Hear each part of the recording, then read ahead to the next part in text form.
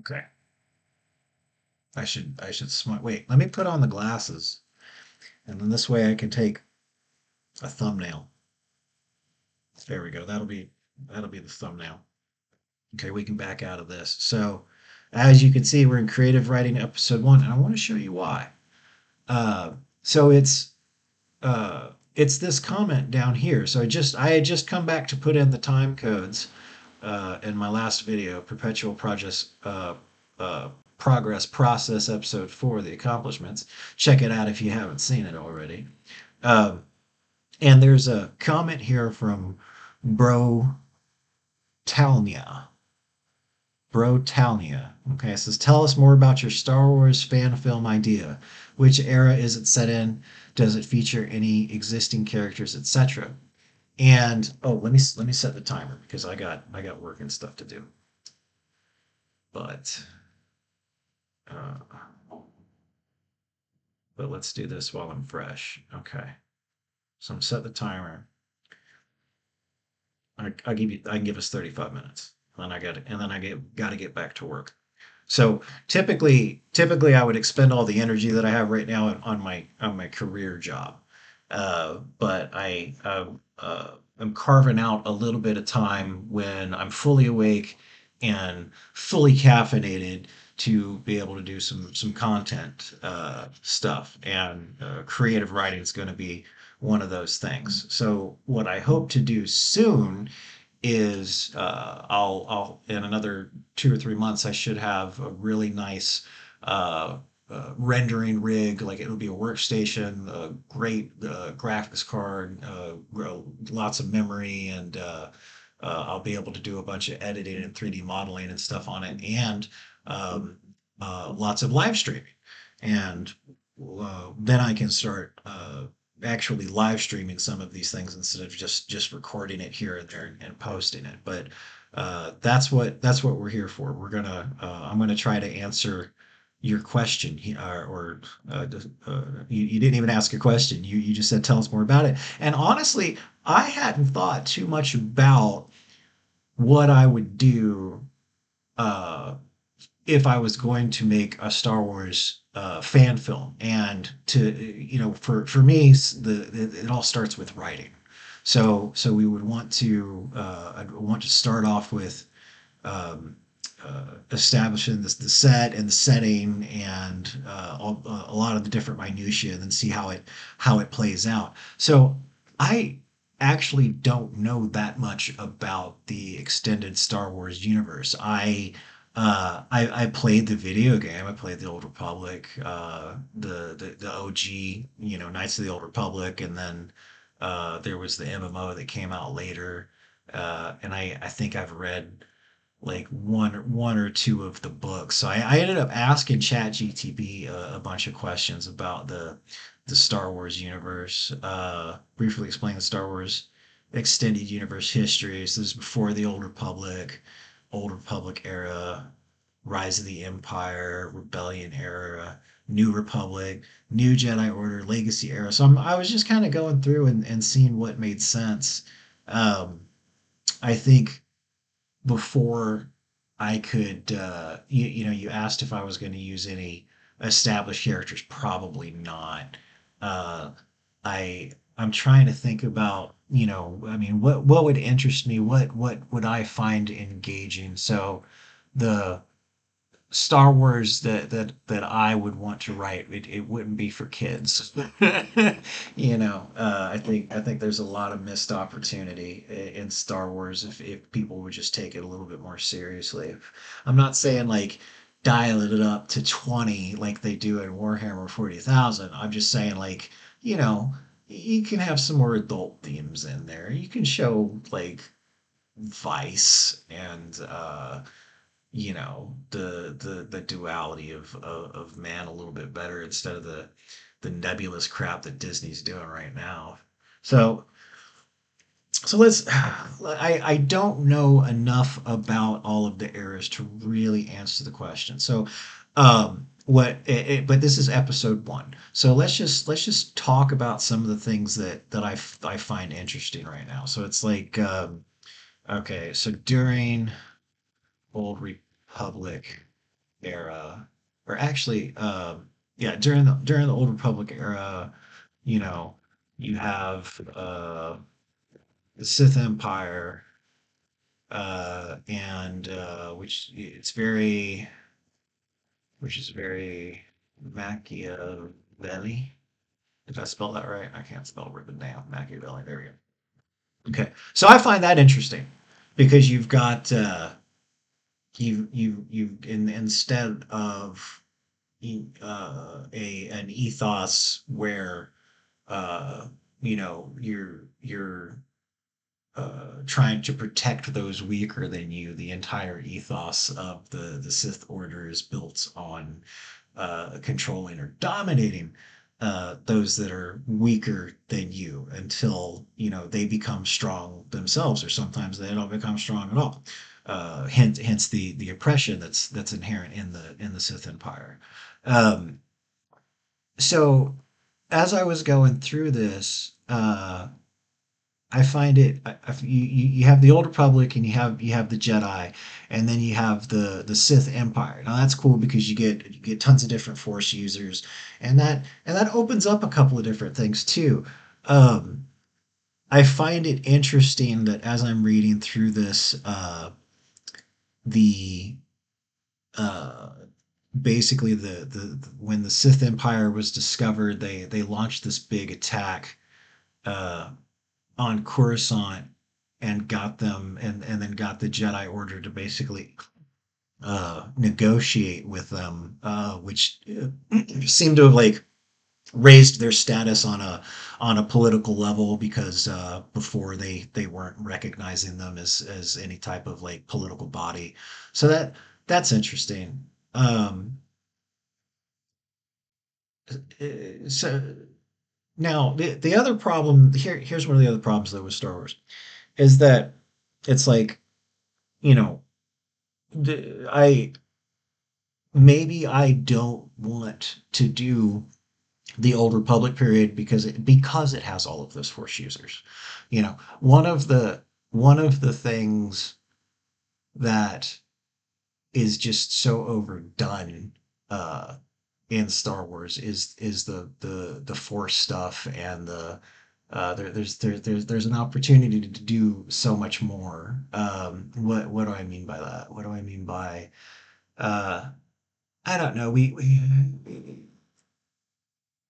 I, I I need to put a decent amount of thought into how I would want to portray uh, the Force, and and one of the yeah, let's write that down. So it's uh you know uh which is Machiavelli. Maybe uh, uh use this as backstory as so many Force users would seem blase. I don't know how to make the little tilde thing over. Um, okay, how do you, you want to portray the force? All right, so like, um, backstory, ancient times. What is going to be your version of Cain and Abel? Basically, yeah. Um, so you've got you uh, it's it's not like George Lucas was breaking any new ground uh, with with the philosophy of of, of what what he what he set up in Star Wars. It's actually it's actually kind of basic. Um, so there's a lot of opportunity to uh, uh, expand on it, and you know, Star Wars is always going back to like oh these, these ancient times uh but i would want to see uh i think in my story i'd, I'd want to see uh the multiple I, I guess that's the answer uh to your question. Yeah ok- okay so it's like which era is set in?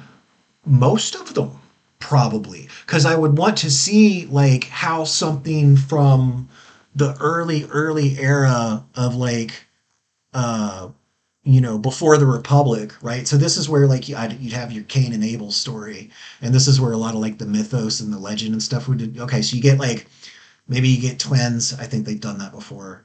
Uh, maybe it's not twins. Maybe it's just uh, oh, maybe it's male and female. Uh, you could you, you could do something there.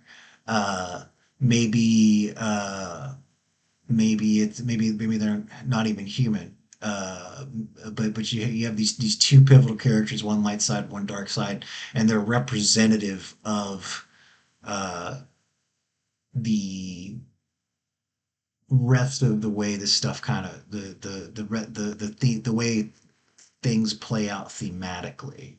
Okay, so how do you want to portray the Fort Bear? What's going on? You okay? So I I don't know the answer to that yet, but I will I I will sit down and uh I I will think about this some more.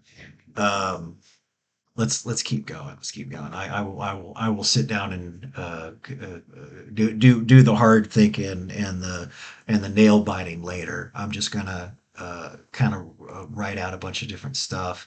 Maybe use his backstory. Okay, so so this is actually developing. Uh, you know the uh, let's let's write that down. Um, it uh, uh, it would makes it, would uh, be fun to have uh, plot lines that uh, exist across uh, the different eras of Star Wars. Um, how would something from a bygone era manifest later? Um, yeah, I don't. I don't think they. Uh, I'm. I'm sure there's. There's times of this happening, but I'm just. I'm just not that big of a. I haven't read that much of the extended universe to know. During the Old Republic era, Sith Empire was uses his backstory. Uh, so we can get rid of the backstory, which is very Machiavelli. Uh, so, and the reason I write this is because uh, I uh, refined the politics of the Dark Council. Count. How do you spell council? Uh, interesting. Um, especially uh, running Empire, you know, based off uh, he lost, you know, how can a society that,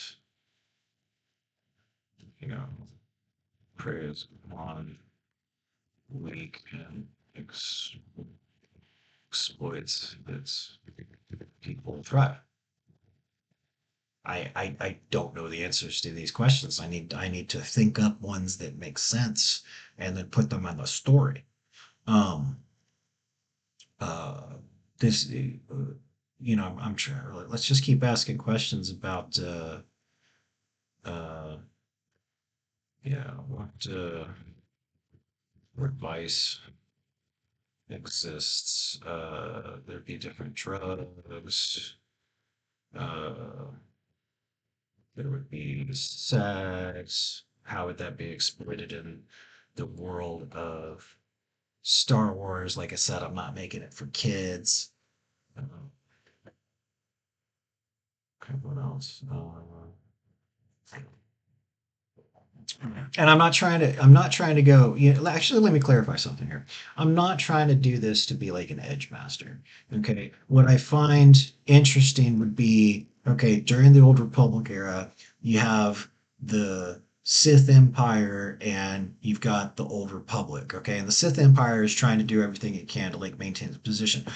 Okay, so they do that through like uh like uh re- remember remember the, the little thing called the Opium Wars between uh the the, Brit- the British Empire and, and a little place called China. Um so let's put that opium opium wars, right? Um, and then uh, uh, uh, let's put uh, character flaw of the Sith Empire Emperor. You know, his his weakness is is the same as mine. He loves beautiful women. Uh, his weakness.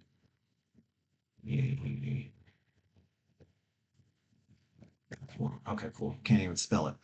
Um, uh, that that could actually like lead to his downfall, which which could lead his downfall and and a reshuffling of the Dark Council's politics and maybe Um, I keep going back to this because I find I find it so interesting. So Dark Council. Uh, let's do this. Uh, uh, give me a list of the twelve positions that existed on the Dark Council. I can't spell. I just can't do it. Console.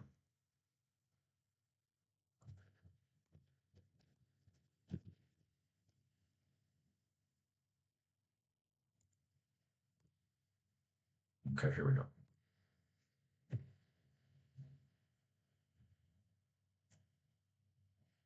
No, I'm not. I just I, I'm using the AI to get to get me information. I'm not letting it write stuff for me.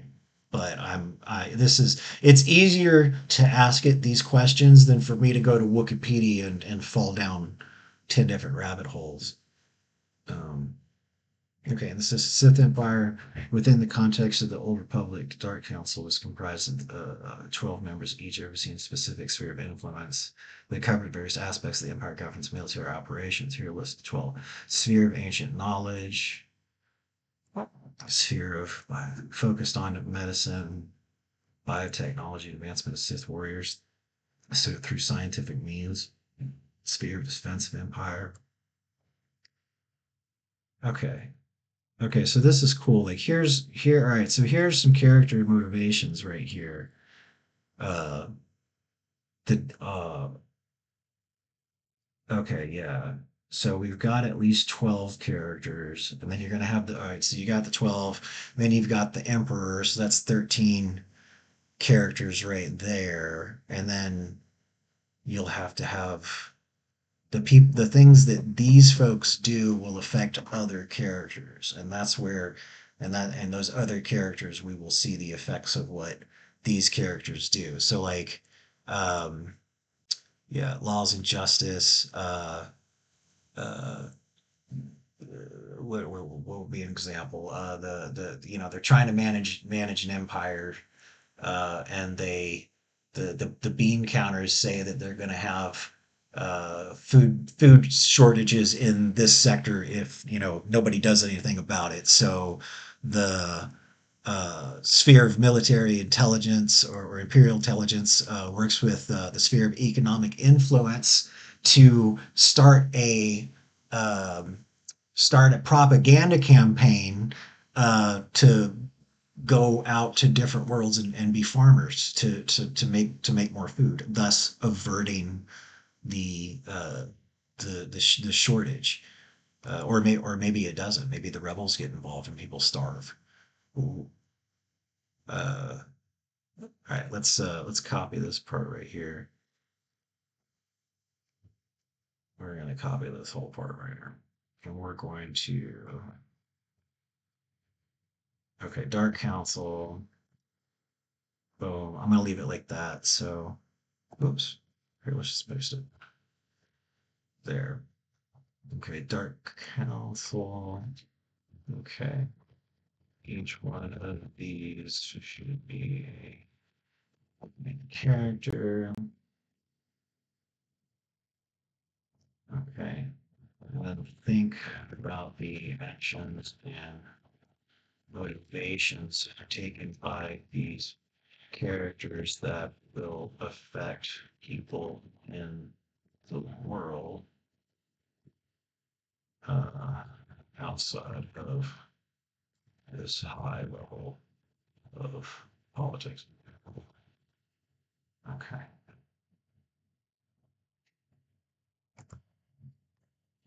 Um,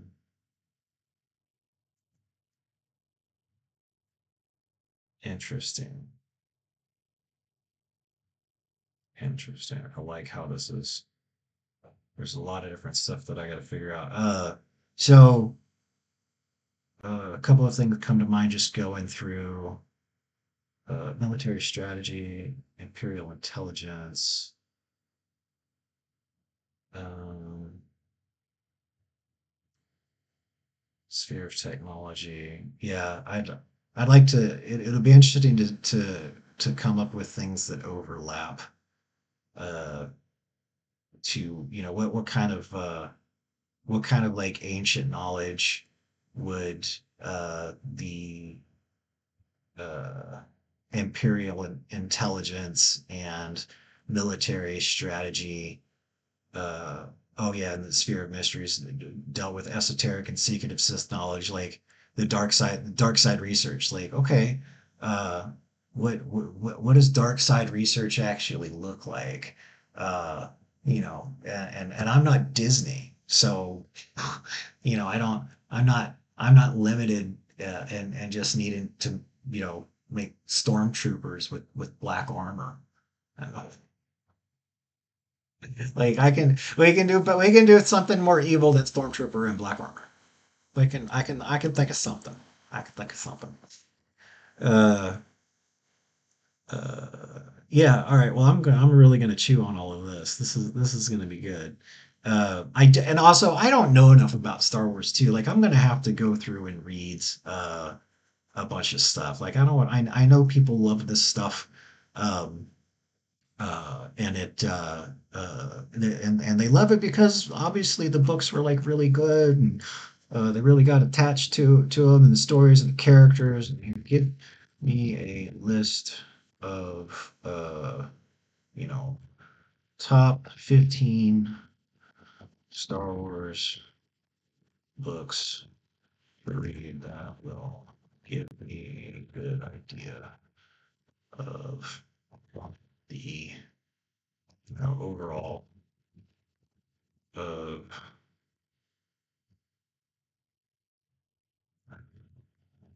of Star Wars independent of the major movies. Oh, can't spell. Okay.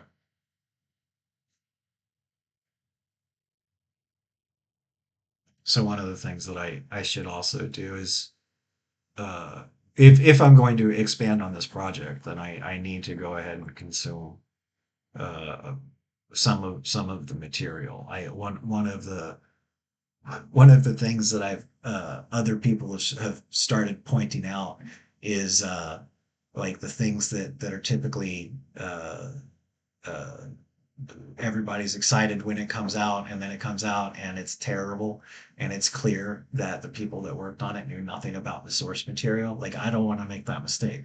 I don't know that much. I probably know more than than than than anybody off than average Joe off the street. But like compared to somebody who who's an actual Star Wars fan, uh, who who's who's already read all these things, I don't I don't know crap. Uh, Disney canon, Legends canon, yeah. So it would be Legends canon probably.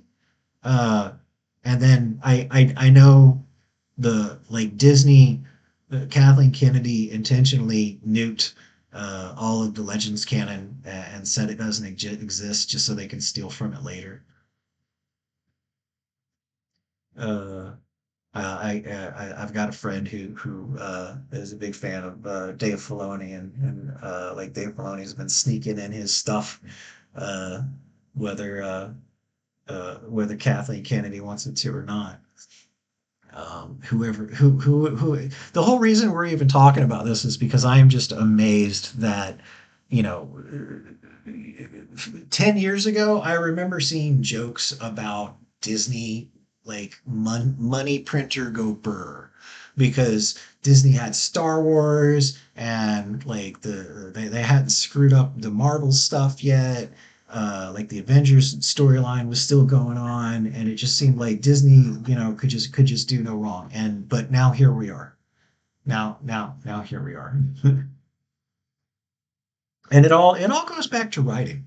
I really I really think it all just it all just goes back to writing. They they had all of this rich uh this rich stuff that that was created in the expanded universe and they just oh no we're not going to worry about that.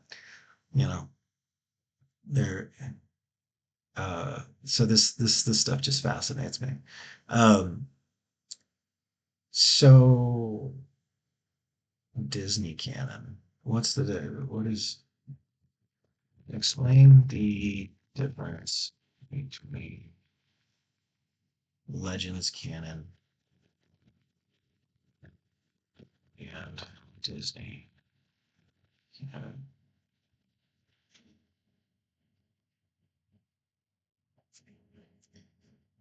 The Legends canon distinction between the two arose from Disney acquisition of Lucasfilm in 2012, which led to the reorganization of, of the narrative continuity of the Star Wars franchise. Here's an overview of each and how they differ. Okay, so before 2014, Expanded Universe included everything. And then and then when Disney bought them out and Kathleen Kennedy wanted to pretend to be creative, she decanonized it. Okay, gotcha. Secondary continuity is parallel to the official canon. It is no longer actively expanded in a way that of connects with the Star Wars. Okay, all right. So then, you know, we we can just say this is the Legends canon. I'm, you know, let's put that at the top. Um, I just do Legends canon uh, fan project. Now, now that's that's quite the commitment because that means that I I need to adhere to uh, all of the the storylines and the characters and stuff. Which means uh, see, this is going to be a big project because I actually want to do it justice. See, this is this is why Disney didn't put in any of the work because it's like, oh, you mean we we'd have to read all of these books and then and then learn all of these characters and their motivations and then create our own to interact with these? Oh god who who would think of doing that? Um original six films. Okay so the disney canon is just the films now. And anything that they created after 2014 apparently. Uh, Disney canon aims for a high level of continuity and cohesion across all media, media, whereas Legends was more sprawling and occasionally inconsistent due to the many different authors and stories developed independently. Well, what's wrong with that? I, I well, I'm I'm a Warhammer fan, so I mean that's that's that's that's what Warhammer prides itself on, actually. Um, canonical status considered the official storyline universe as recognized by Lucasfilm, while Legends is treated as a separate, non-canonical but beloved collection of the stories. Yes, beloved by all but Disney, apparently. Uh, okay, let's see how much. Uh, this is this has been pretty good. How much time we got? We got uh, about seven seven minutes left, and I, I put it on for about thirty five. Okay, well let's um let's call let's call it there uh, for for now. Uh, this this this was fun. Just look, I got I got to get back to work. Uh, but I wanted to to uh, to re- respond to uh, to your comment here, uh, uh, because you you you the moment I read your comment, it just got me thinking, and I was like, what what actually what actually would I do? Um, so you know, and this is creative writing. Let's just put uh, in project creative writing. Oh man. So, you know, what I what I'd like to be able to do is when I get my uh you know, get my rig all set up and then I can just live stream this kind of stuff. Uh we can just you you can I'll, I'll live you can live stream myself uh you know thinking and banging away on the keyboard and, and fleshing out a, a lot of this stuff.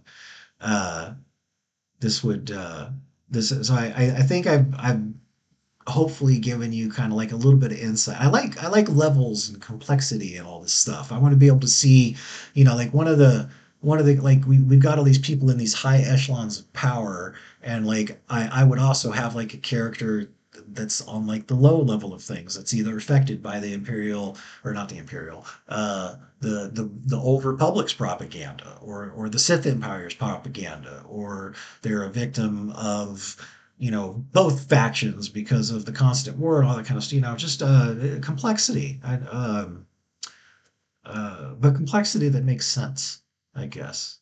Uh i, I don't know. I, I think this is uh I, I didn't realize how much work uh, w- would actually go into uh, uh, what, what, what the amount of work that I would put into uh, doing some sort of Star Wars fan project. Like it all for again for all, for me, it all starts with story, and now, and now that I, I start looking at it, the thing that complicates it is all of the the canon uh, in in the the Legends canon. So.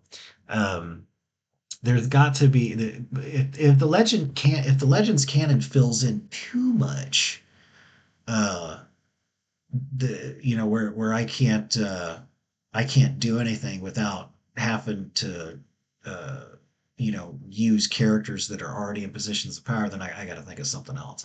Uh because I don't want to uh write characters that already exist. Uh, I'd, I'd like them to be like referred to uh, as, as like you know being historical figures or whatnot, but I wouldn't want to, you know, I wouldn't presume to take somebody else's character and and and and, and write what that character is going to do. Uh, maybe maybe app maybe there's like because the the Sith Empire and stuff was before the Rule of Two, and then you know the the Rule of Two wasn't really working out for the for the Sith. Uh, you know, there there's an argument, a philosophical argument to be made that the rule of two uh, uh, uh, limits uh, the Sith to like a parasitic uh, uh, organism. Like the this like the Sith can't stand the Sith don't have their own empire. There just have to be two really really powerful people at the top of any empire, and like that that's it. That you know. So I, I I think I think there there there could be an opportunity to you know uh, if if if if the legends canon is just too dense to do anything to to do what I what I'm hoping to do with it, then maybe you could go to to an era after all this stuff. It's like okay, well this this the Sith are gonna you know gonna get rid of the rule of two because it clearly hasn't been working out for a few thousand years. all right. Oh, well, this this was fun. This was fun. I, I need to stop. I'm rambling now, uh, but I'll save these. I'll save these notes, uh, and I, I I hope you um, uh, I, I hope you uh, enjoyed this thought exercise with me. Uh, you know, this is this is episode one. Uh, hope hope for there to be many more. Hope to be live streaming this kind of stuff and spending a lot more time on it, even if it's just a thought exercise. But uh, also want to do this stuff for for uh, a lot of other projects um, that I have in mind. So stay tuned. Uh, thanks for watching, and I'll see you next time.